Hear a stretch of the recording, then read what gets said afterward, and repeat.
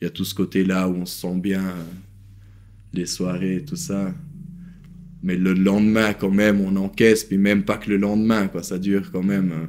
Ça, ça devient un état d'esprit assez euh, difficile après euh, pour continuer les choses sérieusement. Il y a une fatigue qui s'installe aussi, je pense aussi. Et puis, euh, on n'a plus trop envie de faire les choses très bien, en fait, de voir mes potes arriver de soirée, euh, être encore un peu perché, mais dans un stade bah, de descente. Vraiment, enfin en fait, ils trouvent plus rien marrant. Le gars, il avait des sueurs froides, euh, il mangeait pas, il n'arrivait pas à dormir. Euh, il était nul, encore une fois de plus. Il était nul, en fait, je l'ai trouvé faible. Quand tu commences à consommer tout seul, et eh ben là, ça vient, ça vient beaucoup plus rapidement, les problèmes. Vraiment. Du fait que tu peux pas te confronter à quelqu'un d'autre.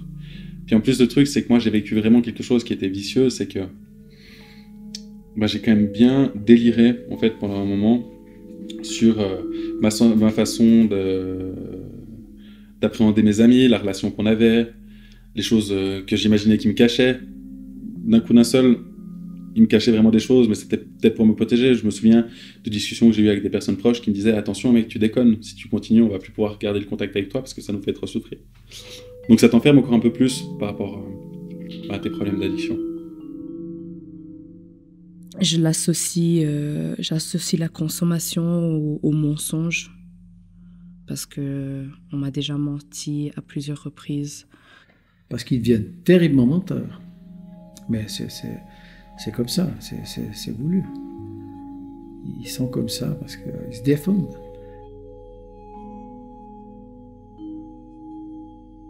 Ouais, alors ça prend une place énorme, ouais, mais c'est justement peut-être le, fait euh, de devoir s'en cacher qui prend, qui prend toute cette place-là, tu vois. Il y a souvent ce sentiment de honte, hein.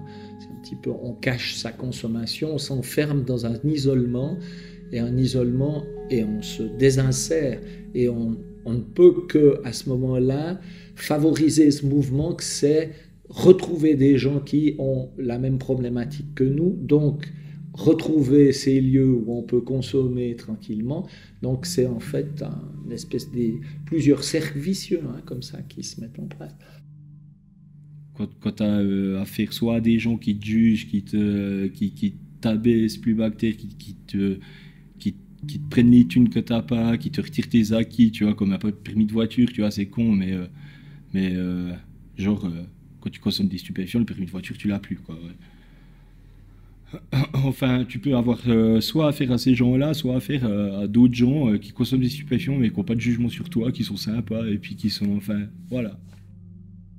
On commence à plus avoir de contrôle sur ce qu'on pense, et qu'on commence à dire des mensonges, des cachotteries, qu'on juge aussi les gens qui sont autour de nous, que finalement, moi qui pensais au tout début, sans avoir pris de drogue, que je faisais partie justement de cette normalité, et que les autres, c'était un peu les junkies, finalement là j'en faisais partie, et j'étais devenue eux, et c'est là que le renversement se fait, parce qu'on a l'impression d'être nous contre la société, et d'être finalement genre la normalité, et que les autres ne nous comprennent pas.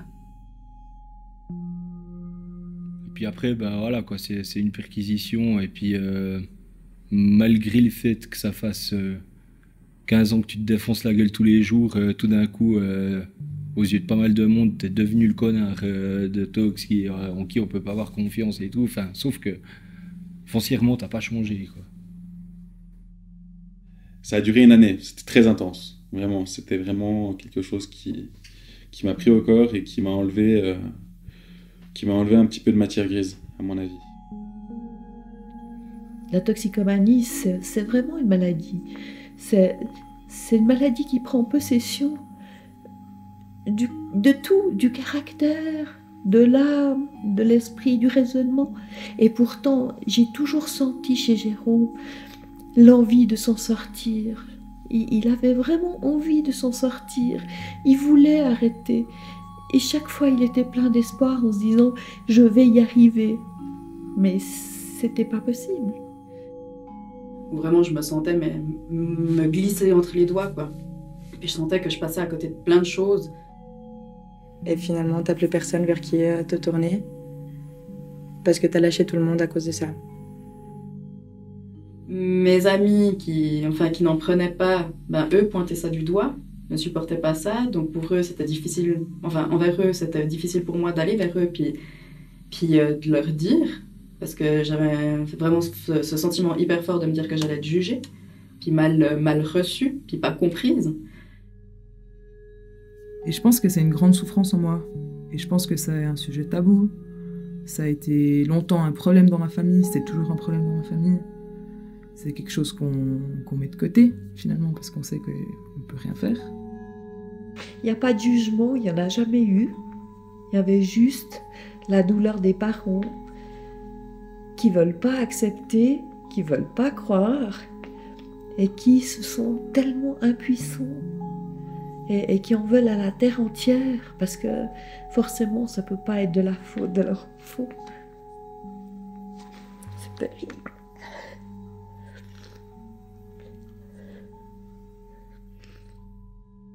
Tu te rends compte au bout de trois ans que t'es plus du tout la personne que t'étais avant. Et euh, mes amis du moment, je leur ai expliqué et euh, personne n'avait compris. Du coup, j'ai fait une dépression. La grosse problématique que j'ai eue, c'est que je me suis enfermé puis j'étais vraiment tout seul dans mon merdier. Donc il, peut y avoir euh, une ascension sociale et puis une dégringolade sociale comme ça. Moi, je l'ai bien vu la différence. Euh, j'ai toujours été euh, hyper intégré socialement. Enfin, mais genre depuis que ça sait que j'ai eu les flics à la maison, euh, enfin, genre du jour au lendemain, je me suis vraiment, euh, je me suis vraiment retrouvé dans la peau de ce, gars, euh, à qui on va peut-être même pas se donner la peine de parler, tu vois. Alors après, t'es encore plus déçu, et puis, encore, puis on te dit encore des trucs un peu plus, plus blessants, et puis t'as encore en plus, t'as envie de te foutre encore plus le tour après. Mais des fois, c'est ça, c'est que tu as envie de te mettre une race. Vraiment, je me disais, j'ai juste envie de me foutre une, une tuée, quoi, tu vois, un peu comme ça, quoi. Et euh, je suis tombée en dépression, enfin, forcément. Et pour. Pour guérir de cette dépression, je me suis dit, bah, allez tous vous faire foutre, je vais prendre plus de drogue. Et ça m'a pas du tout aidé parce que j'ai commencé à avoir les effets sur mon corps, sur ma personne, sur ma personnalité. Ça s'est ancré en moi pendant un moment et je me suis dit est-ce que c'est irréversible ou pas? Du coup, une sorte de haine aussi envers la société, une non-compréhension. Tout, devient toute fatigue en fait. C'est pas vraiment le, le sentiment de tristesse qui se fait ressentir lui-même, c'est c'est que le premier jour, quand on réveille sonne pour aller au boulot, euh, ça te fait chier à un point où c'est que, que t'as envie de, tout faire pour pas y aller. Et puis, je pense petit à petit, si t'as l'habitude d'en prendre, ça, ça, te bouffe un peu ta, bonne humeur et puis ta, joie de vivre, sans vraiment que tu t'en rendes compte, parce que tu, tu, passes toujours des bons moments. Tes bons moments sont toujours des bons moments, mais, mais ton état général, ça rend toujours un peu, un peu aigri, je pense. Bah, tout ce que t'as entrepris et tout ça, après, tout devient tout beaucoup plus difficile et tout ça. Puis ça, tu perds vite euh, un peu la force, un peu du courage, euh, l'énergie pour continuer. Puis ça te reprend après, euh, peut-être deux semaines après de nouveau pour, pour être de nouveau dedans. Parce que ça te met complètement à l'écart, apparemment. C'est pas... Ça te met, ça te met quand même en marche, et là où c'est devenu vraiment hyper problématique, c'est quand des amis commençaient à, sans oser vraiment me le dire, parce que de toute façon, j'écoutais pas et j'ai pas envie d'écouter, à me faire comprendre que c'était un petit peu dangereux euh, mon comportement et que j'étais plus vraiment le même, voire plus du tout. Autant au niveau de mon physique, où j'avais plus rien du tout sur les os, euh, j'étais devenu un vrai cadavre.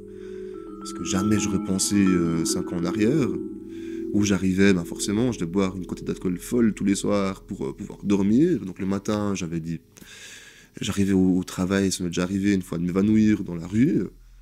Jusqu'au jour où, jusqu'au jour où il arrive à l'hôpital avec le cœur malade.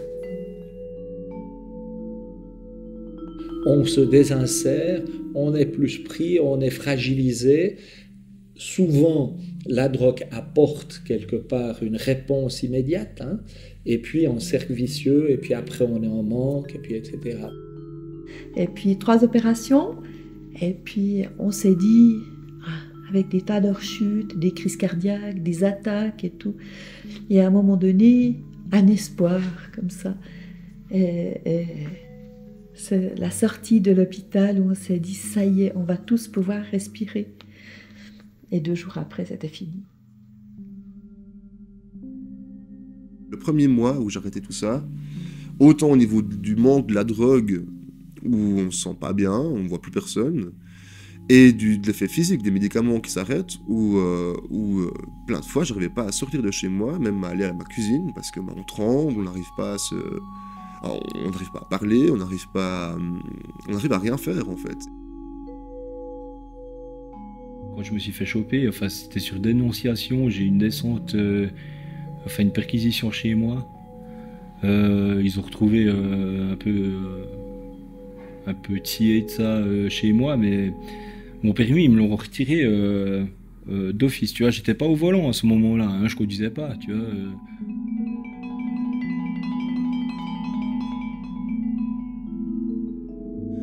Et ça a terminé un jour en recevant une lettre de résiliation de mes contrats avec marqué noir sur blanc euh, euh, il présente des comportements inadaptés au travail. Le travail, certaines fois, justement, à un moment donné, quand l'équilibre est rompu et ça devient tout d'un coup hein, euh, des mises en garde et puis des licenciements.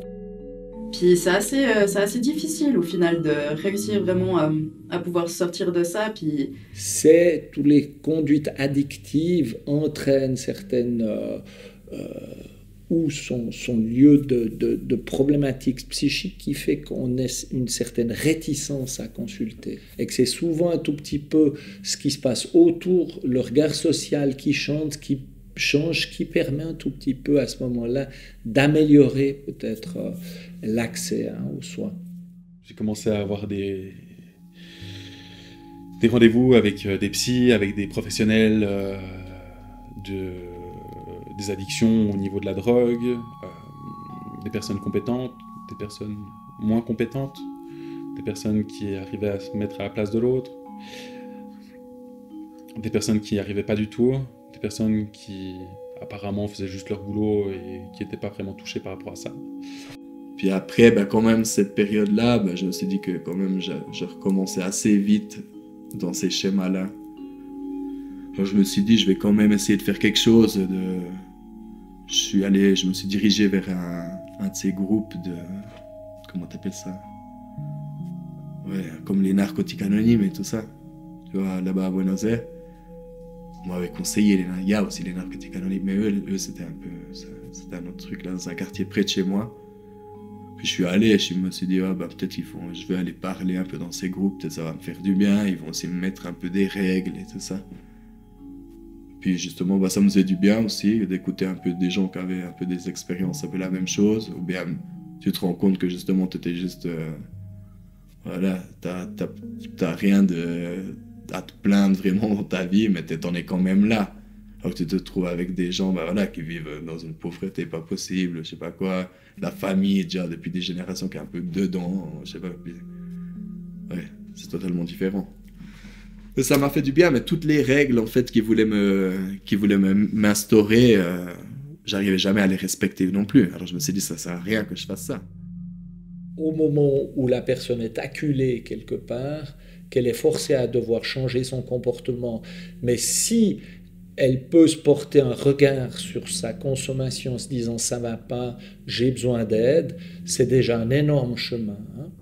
Et finalement, hein, c'est ça. Les gens, ils ont beau te dire plein de choses. Euh, et toi, il faut, faut passer par là, apparemment. Si tu t'es lancé là-dedans, ben voilà, faut t'écraser la gueule à un moment, euh, souffrir. Puis après, bah, comme je te dis, c'est soit tu as cette conscience-là, euh, des choses qui te rattachent avec euh, avec le avec le réel avec la vie euh, avec le avec euh, le quotidien avec le professionnel avec la vie de famille enfin c'est toujours bien il faut toujours avoir un peu des attaches. Bah voilà moi ça m'a servi beaucoup. Bah voilà j'ai eu mon mon fils t'as pas envie de trop déconner quand t'as un enfant surtout quoi. Bah la dope ça ça marque quand même parce que c'est des moments qui sont cool. Souvent, quand je suis en soirée actuellement, les moments qui me manquent le plus, c'est les moments qui sont les moments un peu d'extase où on sent qu'on bouillonne intérieurement et puis euh, qu'on a l'impression de croquer le monde dans la paume de sa main, de tout comprendre. Vraiment, cette espèce de moment où on est sur un nuage dufteux qui euh, rend les jambes toutes molles, qui nous rend vraiment à l'aise dans notre corps, qui euh, nous permettent d'être en rythme et de, danser pendant 6 heures d'affilée sans se rendre compte, du, temps qui passe. Donc ça, c'est des moments qui manquent. Je crois que c'est ce qui me manque presque le plus. J'ai jamais réussi depuis à arrêter à fond, mais plutôt à me restreindre. Je me disais toujours que, que je n'allais jamais être à l'abri d'une éventuelle rechute. Et c'est ça qui me faisait peur. C'est que je me disais, je l'aime cet homme, mais il ne prend plus rien depuis quelques mois. Mais en fait, euh, peut-être qu'il peut toujours reprendre quelque chose et puis retomber dedans. Mais euh, bah voilà, c'est quand même difficile à entendre, quoi, en fait. Et puis après, ben, ça, te, ça te suit tout le temps, finalement. Puis elle, elle avait justement pas réussi à, à, à, se détacher de ça, quoi. Il y a toujours cette image sale, comme elle disait, de, de moi, tu vois, de mon passé qui restait. Puis même quand on était au moment ben, les, les, plus, les plus hauts avec elle, ben, après, il y avait toujours ces ces questions-là, si j'allais retomber, euh, enfin, si j'étais vraiment euh, la personne qu'elle avait en face d'elle, euh, qui, la faisait kiffer là tout le temps.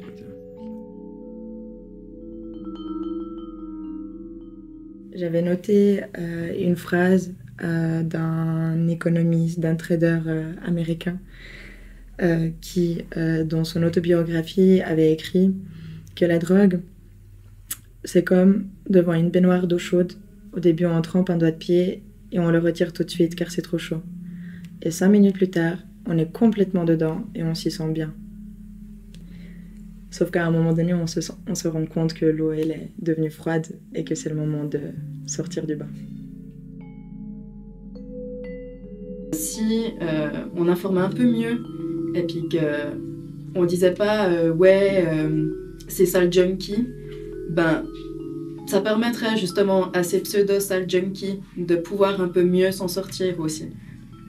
Parce que ça offrirait la possibilité ben, de ne pas se sentir pointé du doigt et pas de se sentir comme une merde au final. De juste se dire, ben tiens, je reconnais que j'ai un problème, j'ai besoin d'aide et je peux aller demander de l'aide sans me sentir jugée. Après, quand il est mort, c'était très difficile en fait. Mais j'ai rencontré un autre toxicomane qui lui faisait la manche à Saint-François. Il était assis entre deux passages. Et j'ai commencé à lui donner de l'argent tous les jours. Je lui donnais 5 francs et je lui disais C'est pour la marmotte. Je savais bien qu'il allait aller se droguer ou que ça allait servir à autre chose. Mais moi, je faisais ça parce que je me disais que quand mon propre fils était dans la rue et qu'il faisait la manche, j'espérais qu'il était tombé sur quelqu'un qui pouvait l'aider un peu, qui lui donnait quelque chose, peut-être pour manger, ou je sais pas. Je pense que plus ils peuvent en causer, mieux ils s'en sortent. Plus ils se sentent isolés, euh, après ils se perdent dans le milieu là-dedans. Et puis là-dedans, ben forcément qu'ils ont un soutien euh, complètement fou. Non, il faut, les, il faut les, essayer de les comprendre et les soutenir. Ça ne sert à rien d'aller contre. Après, justement, euh, ces trucs, euh, enfin ouais, ces médicaments légaux qui sont censés te faire aller mieux, mais qui te font quand même y retourner, enfin, autant que ça reste. Euh... Ouais. Je sais pas, je sais pas ce qui serait le mieux, tu soit tout interdire, soit rien interdire du tout, quoi. Ça m'amène à me dire, ben tiens, pourquoi pas, pas rien que la drogue douce, même parce que ben, maintenant, ben, la on essaye de légaliser gentiment, enfin d'avoir des démarches pour euh, aller vers la légalisation. Mais euh, je pense qu'à la drogue dure, ça serait bien aussi qu'on aille dans ce sens-là, parce que c'est encore plus, plus dangereux, et puis c'est encore plus addictif. Et puis, on sait très bien que dans la drogue dure, il n'y a pas que euh, des jeunes, il y a aussi des, des parents qu'on prenne, il y a des banquiers, enfin, y a, ça touche toute cou couche sociale. Et puis, euh, puis au final, on sait jamais ce qu'on prend. Mais après, d'un autre côté, bah voilà, on peut pousser la question plus loin. C'est le jour où si ça, c'est de nouveau un peu légalisé et puis contrôlé, machin, enfin réglementé, qu'est-ce qu'il y aura derrière? Il y aura toujours quelque chose, je pense. Malgré le fait que ça me mène à rien et puis que j'ai que dalle, tu vois, et puis que je sois rien au fond parce que je travaille pas, j'ai pas de revenus, je suis euh, toujours un petit peu euh, euh, en train de me demander comment sera demain, tu vois. À aucun moment je regrette d'être dans cette situation-là, dans le sens où c'est que je me laisse vivre ma vie, tu vois. La plupart des gens que je connais qui, qui se sont laissés emporter par la vague, euh, ils regrettent quand même un peu. Ils disent, bien sûr, ils avouent que peut-être sur le moment ça leur fait du bien, mais, mais ils me disent tous euh, que j'ai de la chance d'avoir jamais essayé quoi que ce soit et que je devrais vraiment rester comme ça en fait. Qui que ce soit, enfin, euh, j'aurais envie de dire, si tu te sens bien dans ta vie, euh, ben, évite-toi un petit peu ça, le, dans le sens où c'est que euh, ça reste quand même justement ce sujet tabou que tu n'auras pas à devoir aborder, tu vois, avec des gens avec qui tu, tu veux quand même garder une image de, enfin, si tu vas bien dans ta vie, continue d'aller bien, quoi, tu vois. Je sais pas après si fondamentalement je serais quelqu'un de différent euh, si j'avais jamais eu cette expérience-là, ça nous permet de porter quand même un regard sur la vie qui est euh, différent qu'une personne qui a jamais eu forcément une expérience euh, avec la drogue. Mais il y a quand même toujours cette question qui reste quand c'est que ça sera totalement en dehors de ma vie en fait? Autant c'est le piège aussi de dire il y a le toxicomane et l'autre, c'est comme dire il y a l'anorexique et l'autre, ou le dépressif et sain, c'est les voir, je crois, comme des symptômes, des symptômes d'un mal-être, et que essayer de les introduire ou les voir dans un ensemble plus vaste qu'est un individu à chaque fois unique. Et je me rappelle aussi le nombre de fois où c'était tellement dur qu'on souhaitait que ça s'arrête, on se disait, mais mon Dieu, s'il faisait une overdose, tout serait fini, on arrêterait tous de souffrir de se faire du souci et de se sentir impuissant. Et ça, c'est les pires sentiments qu'on ait et qu'on ressasse quand l'enfant est mort. On se dit, mais comment j'ai pu penser des choses comme ça? Parce que quand il est mort, il ne reviendra plus. C'est un trou, c'est un trou béant. C'est horrible. C'est horrible.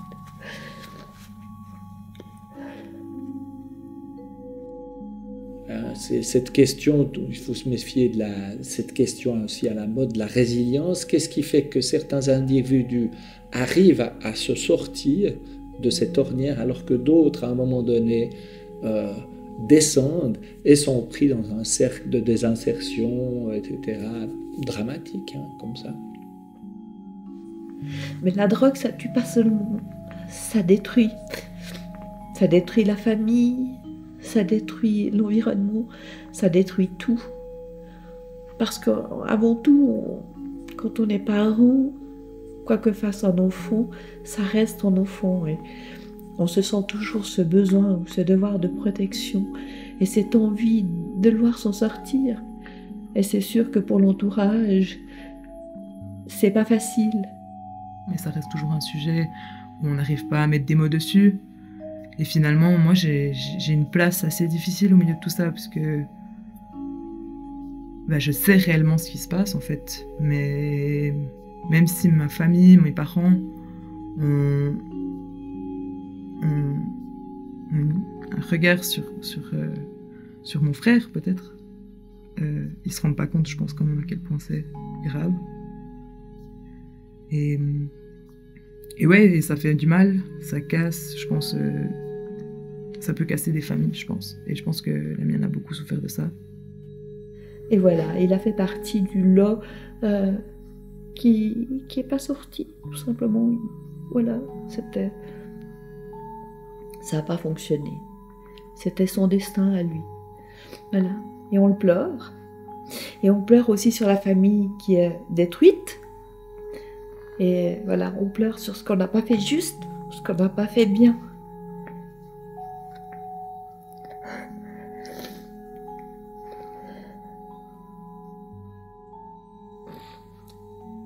Après, il reste les photos. Et toutes ces affaires se sont résumées à un sac Migros. C'est tout ce qui lui restait quand il est mort. Un sac Migros avec petites affaires. C'est terrible.